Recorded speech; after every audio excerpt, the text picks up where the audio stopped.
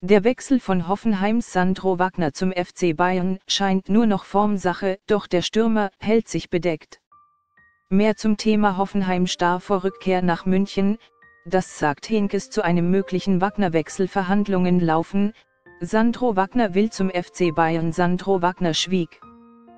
Kommentarlos verschwand der Stürmer der TSG 1899 Hoffenheim nach seinem glücklosen Auftritt beim 1:1 gegen Eintracht Frankfurt durch die Hintertür.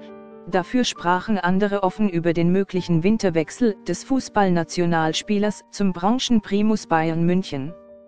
Wir sind gesprächsbereit, aber es hängt vieles an der Ablöse, redete TSG-Trainer Julian Nagelsmann Klartext. Sandro, du wirst uns fehlen für Wagners Sturmpartner, Markut scheint der Abgang des 29-Jährigen schon beschlossene Sache.